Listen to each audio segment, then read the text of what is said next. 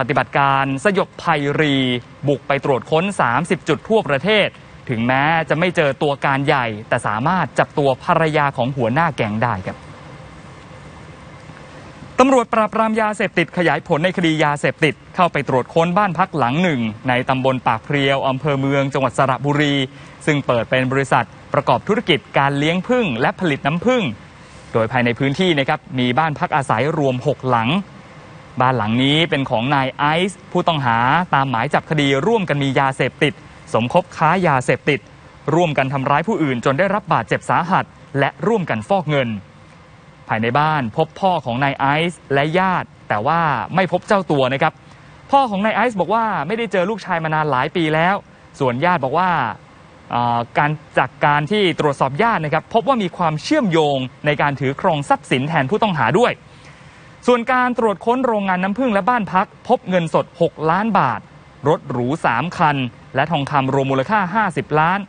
ซึ่งญาติของนายไอซ์เนี่ยอ้างว่าทรัพย์สินดังกล่าว ได้มาจากการทำธุรกิจขายของออนไลน์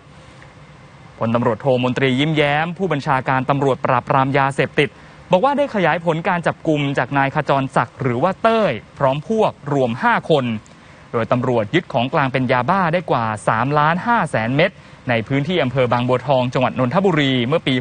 62 จากนั้นตำรวจได้ติดตามสืบสวนขยายผล จนทราบว่าตัวการใหญ่อีกคนก็คือนายไอซ์คนนี้นะครับซึ่งเป็นเครือข่ายเดียวกับนักค้ายาเสพติดรายใหญ่ ที่ชื่อว่าหนูเฉินด้วยครับ ตรงนี้นะครับมันอยู่ตั้งหลายปีแล้วนะครับ เราดูกิจการของที่เขาทาอย่างที่เราสัมภาษณ์เนี่ยกับจำนวนเงินที่ไหลเข้ามาเนี่ยมันไม่สัมพันธ์กัน แต่อย่างไรก็แล้วแต่เนี่ยเราให้ความเป็นธรรมนะครับ ถ้าเขาสามารถดีแคร์ได้ว่าเงินต่างๆ ที่เป็นหลายร้อยล้านนี้ไหลเข้ามาเนี่ยสัมพันธ์กับธุรกิจเขาเนี่ยเราก็จะทำให้ความเป็นธรรมเกิดขึ้น แต่ที่สืบค้นมาเนี่ยไม่ใช่ครับ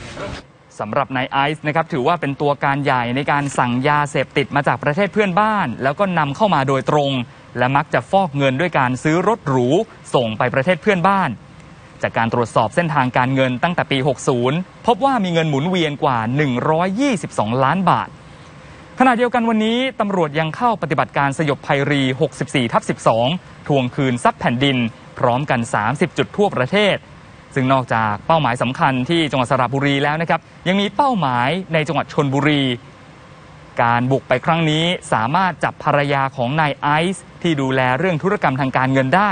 จึงแจ้งข้อหาร่วมกันฟอกเงิน และสมคบกันตั้งแต่ 2 คนขึ้นไป เพื่อกระทำความผิดฐานฟอกเงินครับ